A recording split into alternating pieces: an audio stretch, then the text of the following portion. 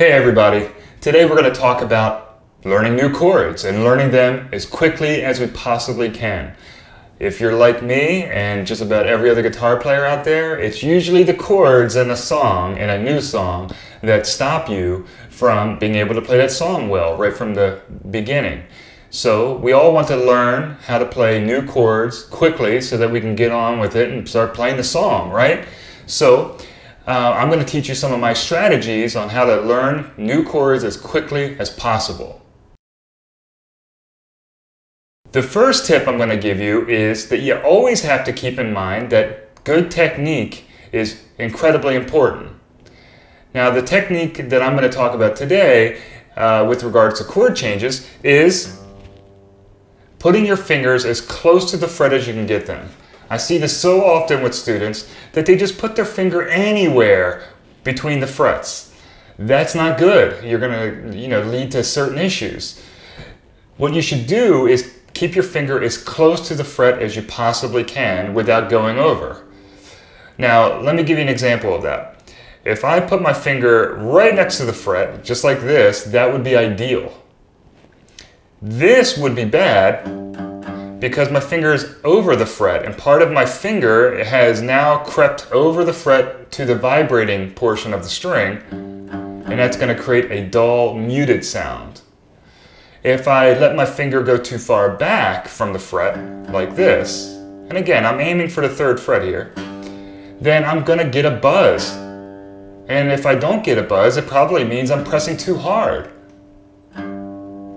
And, and if I press too hard, I'm going to get a sharp note. My note will be sharp compared to what it should be.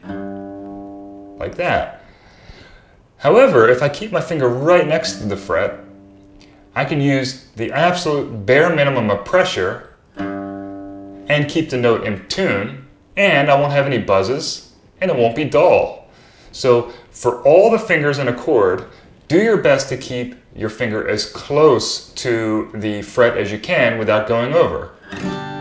That'll give you a nice resonant sound. Everything will be clear. You won't have any buzzes or pitch problems, okay? So technique is super important. Keep your fingers as close to the fret as possible.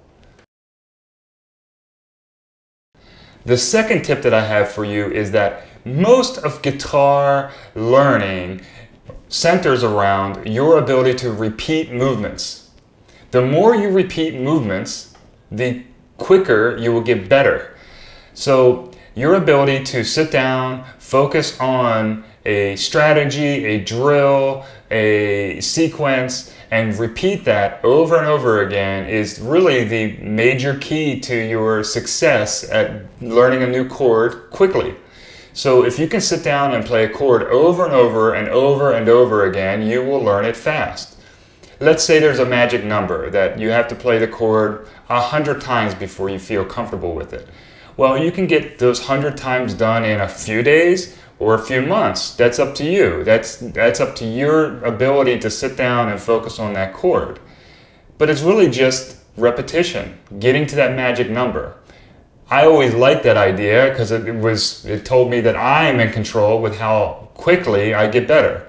If I can repeat more in a shorter period of time, then I'll get faster, better faster. So that always made me feel comfortable. It made me feel good. It made me feel like I was in control over my own guitar destiny.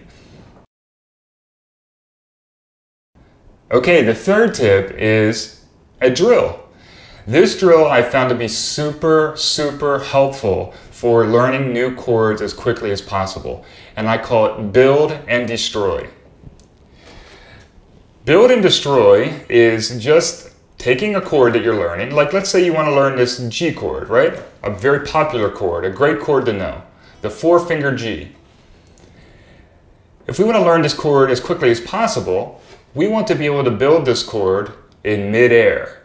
Now this is an important point.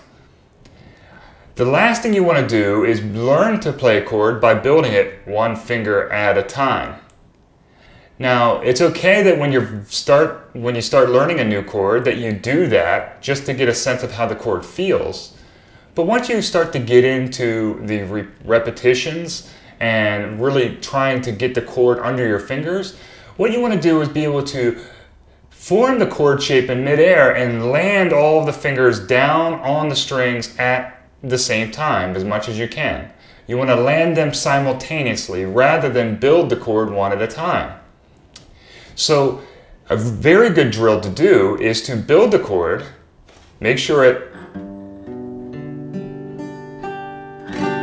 rings out properly, and then lift the chord up slightly, lift your fingers up slightly, that is, and then put them back down and strum it again. Lift it up, back down, strum it again. Up, down, strum. Up, down, strum. Okay? Now, when you feel like you can do that really well, then lift it up higher. Go up, down, strum. Up, down, strum. When you feel like you can do that after many repetitions without any problem, this is where the build and destroy technique comes in.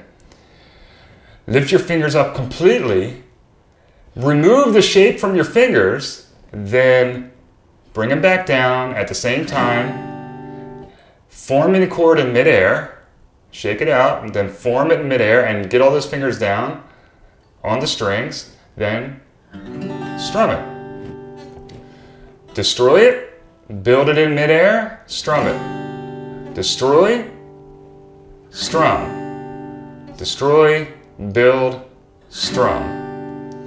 Repeat that as much as you possibly can, and what you'll find is that you'll be able to play a G chord in any sequence of chords it won't matter which chord comes before a G, you'll be able to play that G efficiently and confidently because you are forming the G from a neutral position, and that's out here with your fingers not forming any chord.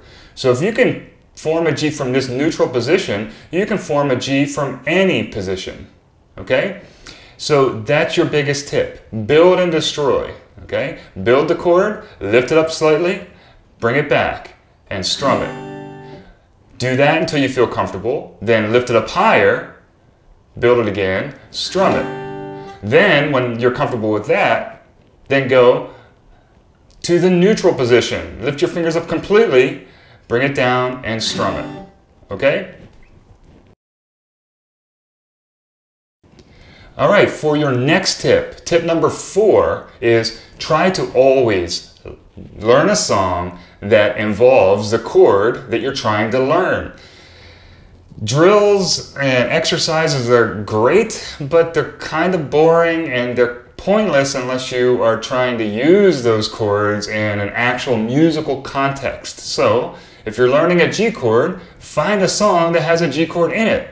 Or better yet, find a song that has a particular chord in it that you don't know, um, and then learn that chord. Use a song as a motivation for learning new chords. All right, number five, and the final tip. Very important tip, and it applies to just about all things related to the guitar. That is, working on something every day is hugely important to your development. Your brain is constantly flushing things out of its memory to make room for new things. So if you only play something once a week or once every few days, your brain will probably flush that, that muscle memory out of its system and you'll have to relearn it all over again, which, trust me, doesn't feel good when you have to redo work that you work so hard on. The best thing to do is to remind your brain that, hey, I want to memorize this. And the only way you can do that is if you play it every single day. If you play it every, every single day, your brain will say, hey, it seems like this guy or gal really wants to memorize this stuff, so maybe I'll put this in permanent memory. So working on something for five minutes, 10 minutes every single day is way better than working on it once a week for an hour. Trust me on this. You'll feel really good about your progress if you work on your exercises every single day. With these five tips, I am absolutely certain that you're going to learn chords more quickly than you ever have in the past. When you learn chords more quickly, you can play more songs more quickly, and you feel better about your guitar playing. So, get to it, keep on practicing, and let me know if you need anything.